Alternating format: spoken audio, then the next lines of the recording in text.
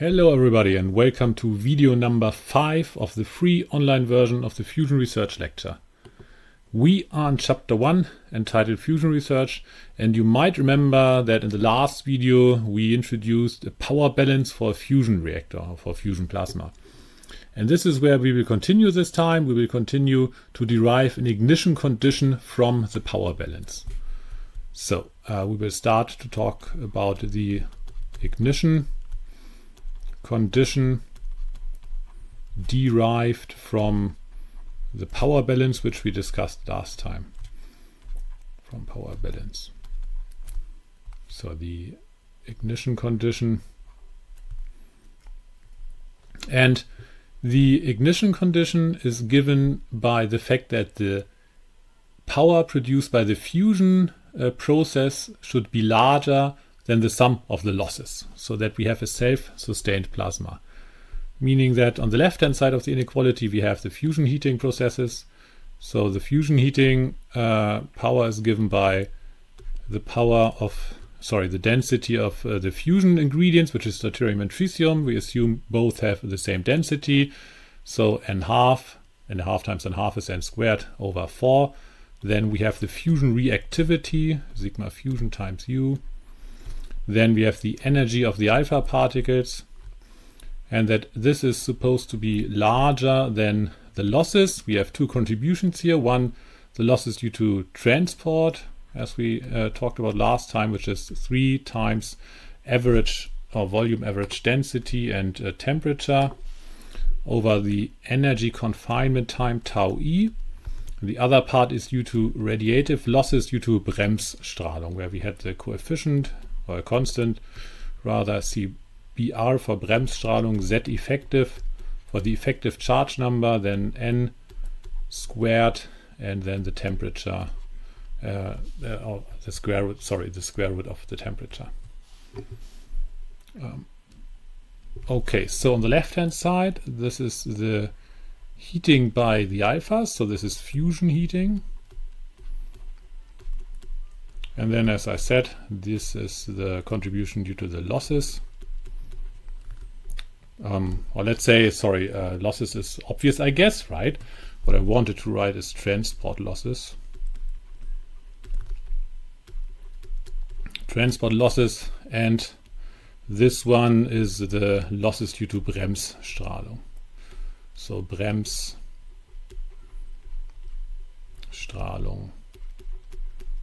losses.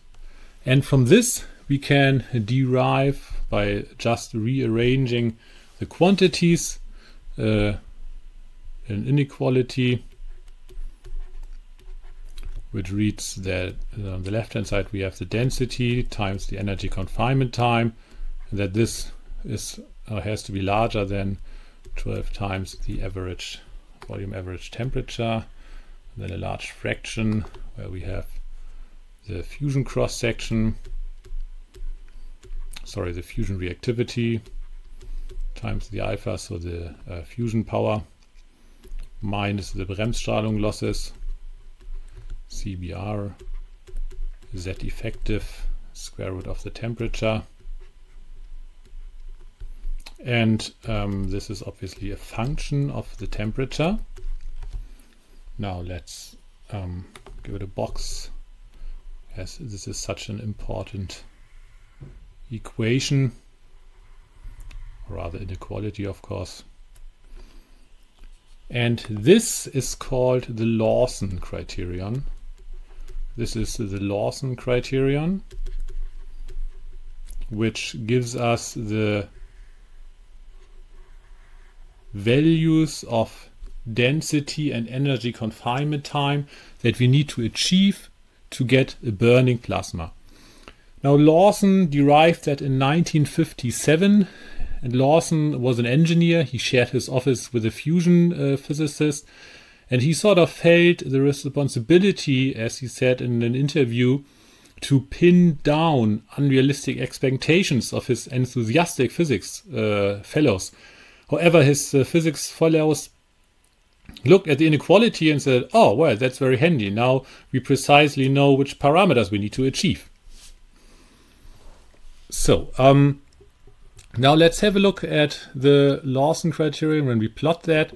Here you see n times tau e as a function of the ion temperature. You see both, uh, sorry, you see two curves. Uh, one is for deuterium tritium fusion including Bremsstrahlung losses. This is the blue curve. The orange, or maybe it's brown, I'm slightly colorblind, I guess it's brown. Uh, DT fusion neglecting the Bremsstrahlung losses.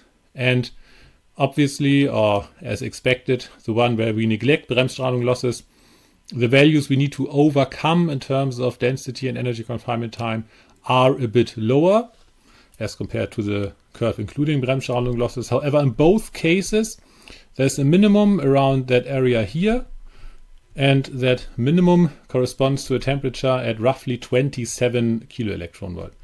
So there's a minimum at approximately 27 kilo electron volt. And this is the value which we are aiming at um, to get a burning plasma. Now, nowadays it is more common to use the triple product instead of the original Lawson criterion. So the triple product is uh, the more common quantity or measure uh, nowadays. So the triple product is sorry, the triple product is more common to measure the success, if you want, of a fusion device. Of a fusion device. Triple product. Quite a common expression and often used quantity. And this is simply, again, it's n times now in addition to the energy confinement times also the temperature on the left hand side meaning we have now all three quantities which are hard to achieve on one side of the inequality that this has to be larger than 12 and now it's t squared because the equation has just been multiplied with t the same large fraction as we had in the previous one it's the fusion reactivity the alpha energy so the fusion power basically minus then the Bremsstrahlung losses, CBR, Z effective, square root of the temperature. And this expression is often abbreviated with a capital F. So you find that quite often in literature. So this is the triple product.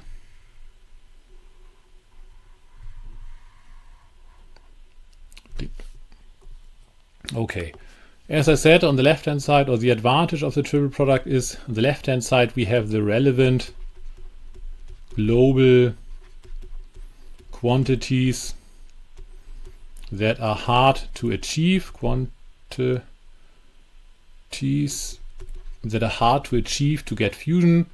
And on the right-hand side, we have more or less the same fraction as in the original Lawson criterion, except for the factor, for an additional factor of uh, T, the temperature.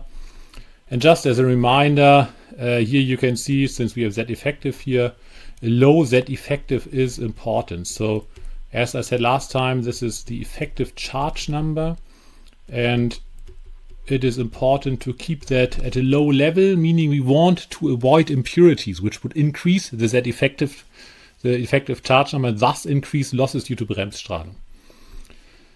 The expression on the right hand side has a minimum. So this has a minimum roughly at 15 keV. Minimum at T approximately at an electron temperature of approximately 15 keV or ion temperature. Here we assume both to be the same. This is why, uh, yeah, oops, here we assume both to be the same.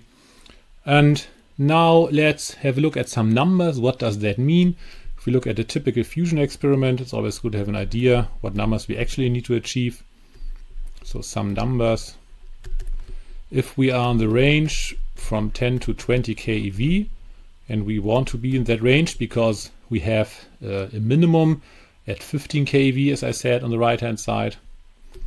And in this range, the fusion reactivity can be expressed by a simple parabola. So let's uh, here, here we have a constant c then times t squared where this constant c sigma u in the uh, index has a value of 1.1 times 10 to the minus 30 meter cube over electron volt squared in seconds. Now, if we neglect Bremsstrahlung for now, neglect Bremsstrahlung, then it means our inequality reads n times t times tau e has to be larger than and inserting that uh, parabola expression we get a value of 0.5 megajoule second per cubic meter or in more uh, plasma physics common units 3 times 10 to the 21 kilo electron volts over meter cube times a second. Okay, this is the number we need to overcome. And what does that mean for a fusion plasma? A typical fusion plasma has densities of um, 2 times 10 to the 20 particles per cubic meter. Temperature, as I said, is supposed to be 15 keV. And then the third parameter, the energy confinement time tau e, need to be approximately 3 seconds. So this is the minimum requirement for a burning plasma. And note that the density and temperature, these are values we have achieved in experiments already. The energy confinement time, a value of three seconds is, is something we have not yet achieved, but is something ITER is aiming on. Talking about values which have been achieved so far, let's have a brief uh, overview and look at NT tau, so the, the triple product, as a function of years. So here I've plotted the triple product as a function of time and each dot represents an experiment. These are all tokamaks and you can see there is a strong scaling, a strong increase over time until the year 1997. And this note the, there's a logarithmic scale. And there's a 1.7 year doubling rate until the year 1997. And just as a reminder, Moore's law um, has a double doubling rate of uh, two years in Moore's law, which says that the number of transistors in an integrated circuit uh, um, doubles every two years. So just as a reminder, Moore's law um, says that the number of transistors in an integrated circuit doubles every two years. Every two years. This is supposed to read years. Now you can see in the plot that at 1997 the doubling rate basically stopped and then there's a long break until the dot to ITER, which gives us another, again, an increase, but it takes some time, so the slope is strongly reduced. Now, there are a few reasons for that and would require probably an own uh, lecture, sorry, an own uh, talk um, to discuss that. One reason is, of course, politics. It took a bit to decide where ITER is going to be built, then how ITER is organized, that uh, it is a multinational project, a lot of countries contributing to it. And of course, ITER has a number of new physics or challenges which were not tackled in uh, other experiments before. For example, the uh, major or significant alpha particle heating. So there are a few reasons for this long uh, break so far. Okay, this is NT tau as a function of time let's now look at the triple product as a function of the temperature and uh, looking at different experiments, not just tokamaks. So here you can see the filled squares. These are tokamaks, the names indicated next to the symbols. And then we have the filled circles, and these are stellarators. And then the uh, green filled diamonds, these are spherical tokamaks. And you can clearly see that tokamaks are leading in this plot. Yeah, so the blue dots are way uh, ahead. Tokamaks are just performing better. Tokamaks are performing better and are performing better. And you can see that they are close to the ignition region, which I've indicated by the blue, by this blue area here at the top. This is when ignition is achieved. And they are getting uh, close to it. ITER will get very close to it. And the reason why tokamaks are performing better is basically they are one machine generation ahead. They are one generation ahead. W7X has uh, is uh, has currently the record. So W7X, the symbol is there. This is currently the record on a stellarator for a triple product achieved, as you can see here, but it is still lagging behind the uh, tokamak record value.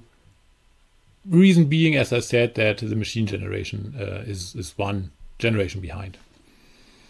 Okay, let's now have a look at another important quantity uh, for achieving or for measuring the uh, achievement of ignition, and that is the Q value. So, the Q value is another important measure for the achievement for the achievement of ignition. It's a quantity to measure how close we are to ignition. That is the Q value. The Q value is basically the fusion power produced in an experiment or in a plasma, the fusion power produced, and then divided by the external heating power. Divided by the external heating power.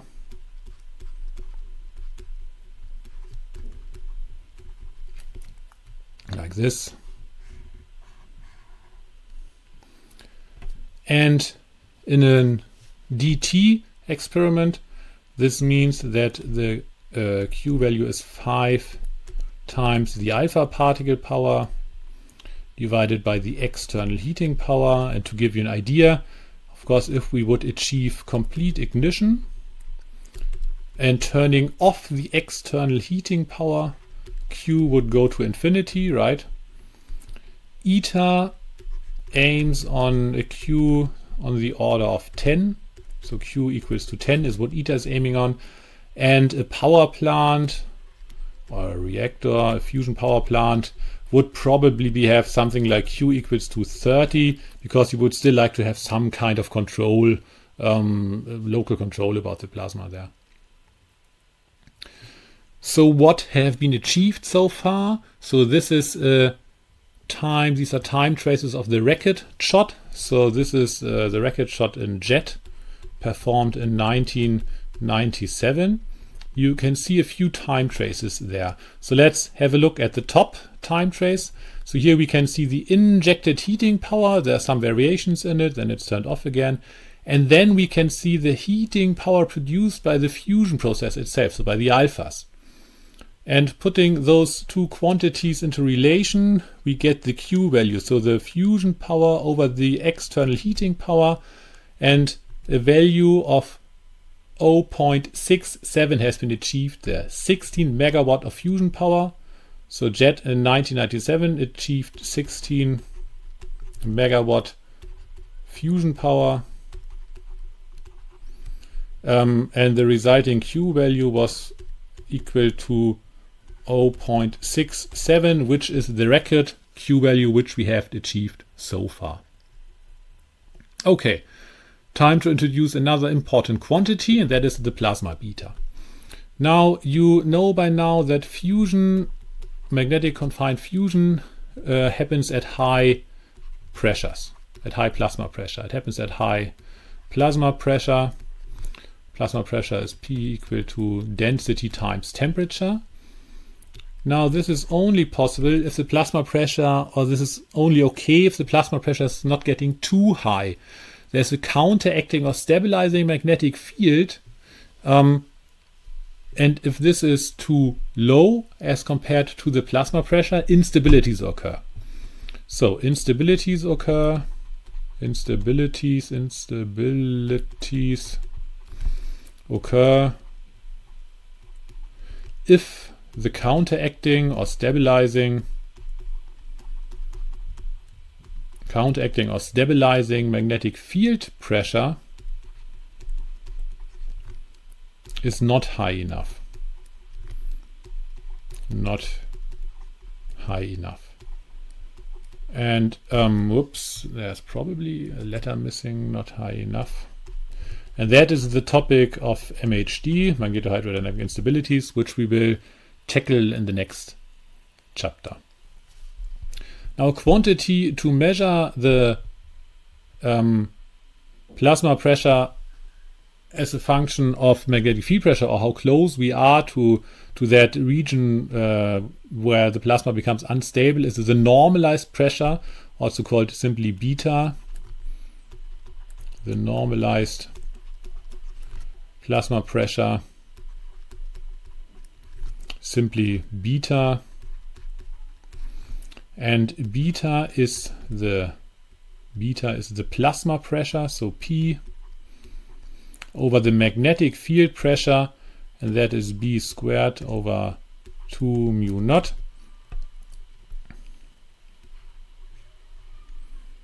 That is the plasma beta.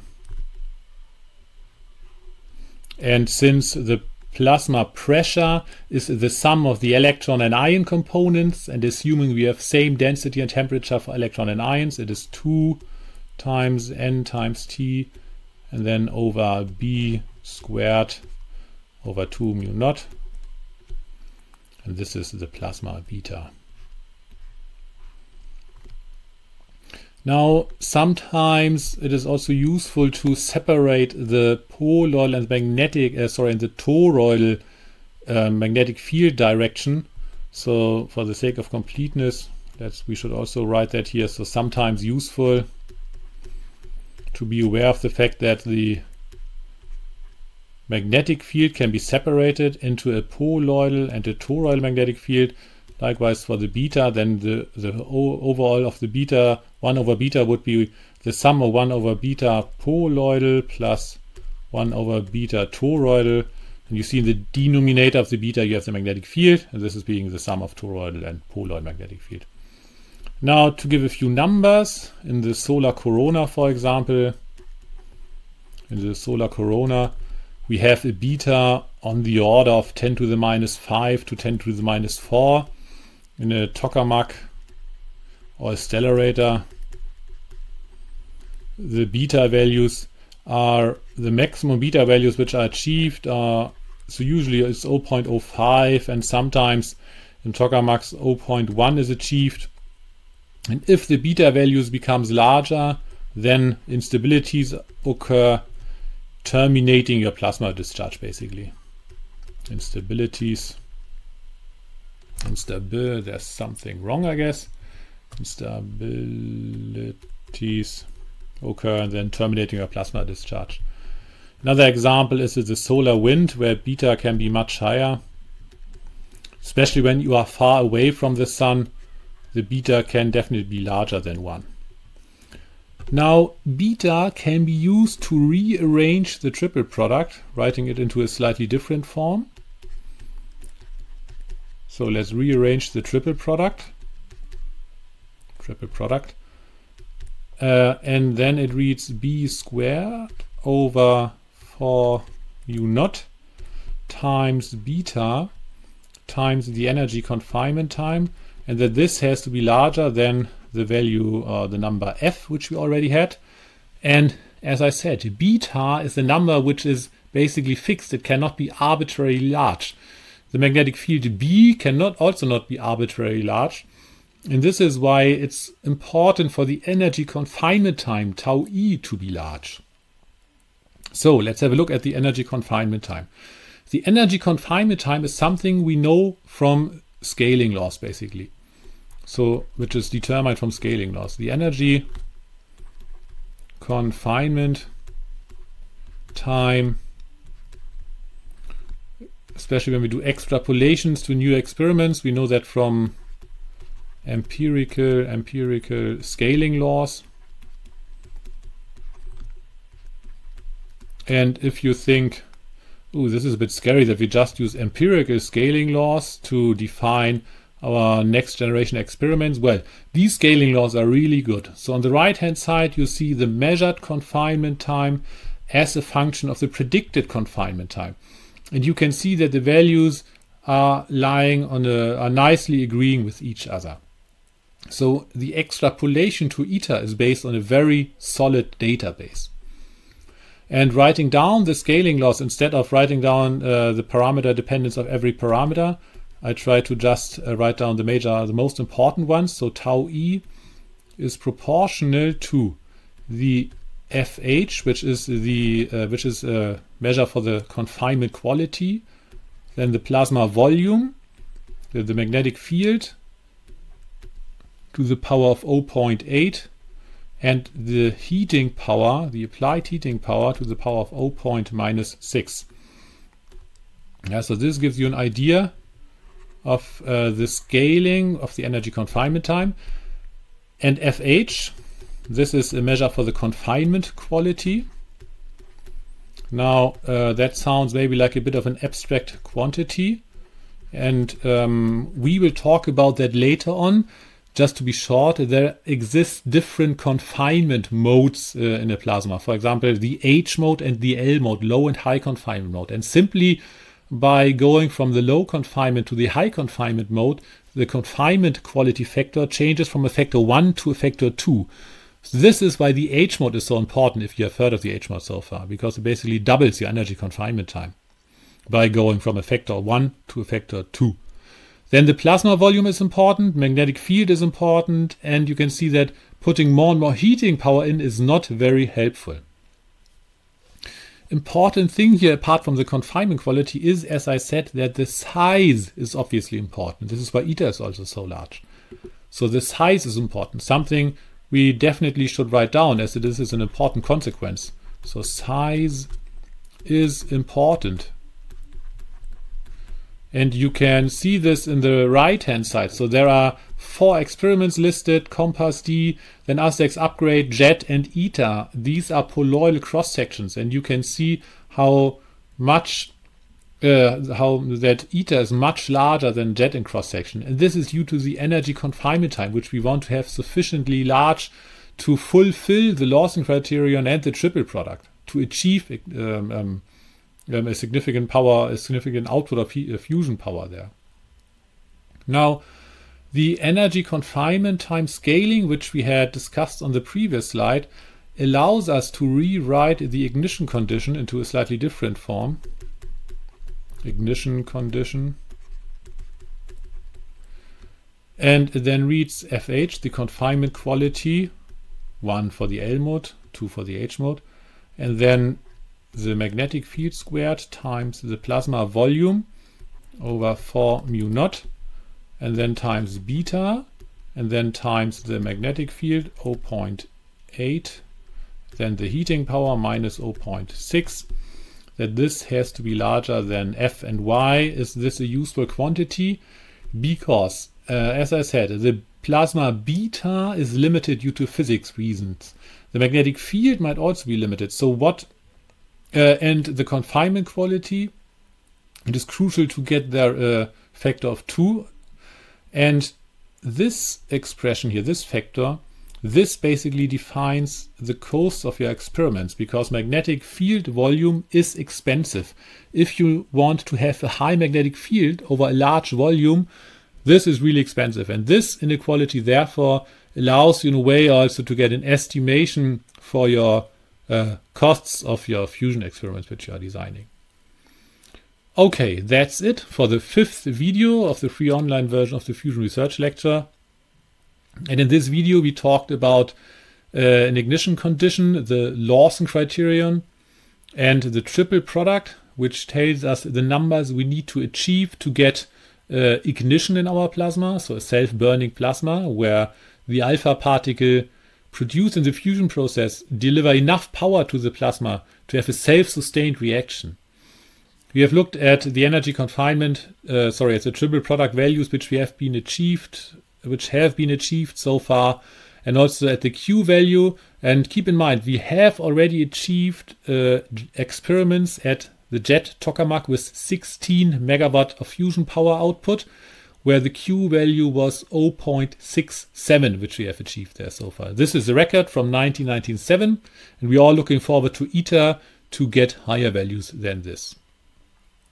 Finally, we talked about the normalized plasma pressure, the beta, which is an important quantity, usually on the order of 0.05, maximum 0.1 in uh, large scale tokamaks. And often it is a percentage value which is used there.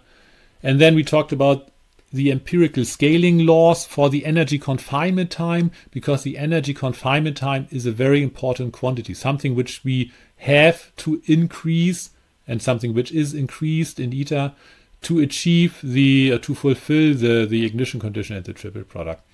And an important consequence of all this is that the size is important and size means also expensive and this is why ITER is so expensive. Okay, that's it and I hope to see you in the next video.